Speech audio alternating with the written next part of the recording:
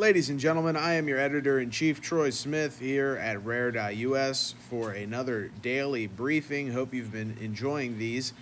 Uh, the DOJ reportedly is planning to indict Hunter Biden by the end of the month. Now, if you want my honest opinion, I think we're going to see another sweetheart deal, uh, kind of like we saw the last time, where they attempted to make sure that Hunter couldn't be prosecuted. And there's more breaking news just coming into CNN right now. The special counsel uh, David Weiss intends to take a look. And there's more breaking news just coming into CNN right now. The special counsel David Weiss intends to seek an indictment against Hunter Biden relating to gun charges by the end of the month. That, according to a new court filing. Biden had previously reached a deal involving a gun possession charge that would have allowed him to avoid prosecution if he met certain conditions over a 24 month period. Once his plea deal, though, fell apart in court, the future of the gun deal, uh, uh, the gun deal has been in limbo. President Joe Biden couldn't stop touching Eric Garcetti's daughter upon his arrival in India today. Uh, it has to be pretty embarrassing for the White House staff to sit there and watch Biden do these kind of things. Um, and you have to wonder how long it will be before they are essentially incriminated for pretending as if this isn't happening. I would love to see communications from the White House because they have to be treating him like a baby. Let's take a look at that.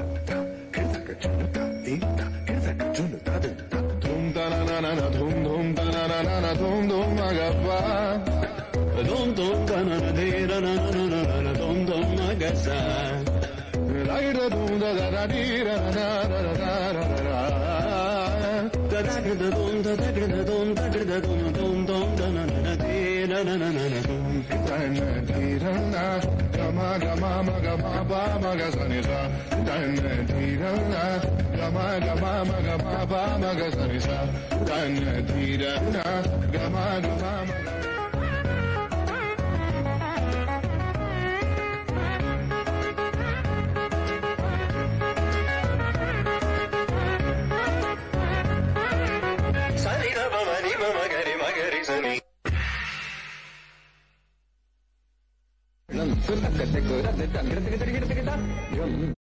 Also had video today of an absolute fool attempting and failing to steal a $3,000 electric scooter. Kids, this is why you stay in school and this is why you don't go around trying to steal people's electric scooters. And if you're going to steal something, you might as well steal something cool because a scooter, I mean, you're not going to look cool riding that. It doesn't matter, you know, how ripped you are or what, uh, you know, what kind of sunglasses you got anyway. Let's take a look at this idiot here.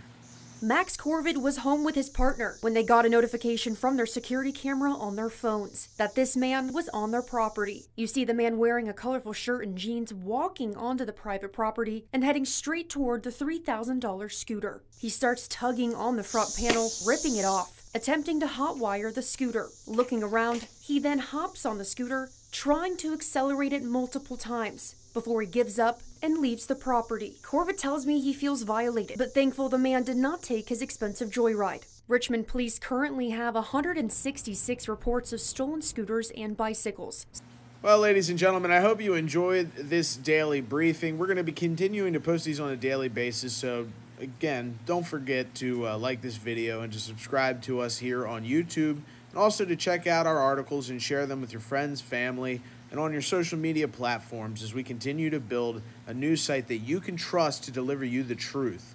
It's such a rare thing in today's world, and it's so rare to have something that isn't uh, completely directed by advertisers and things like that, folks. We are free speech absolutists here, so follow and God bless.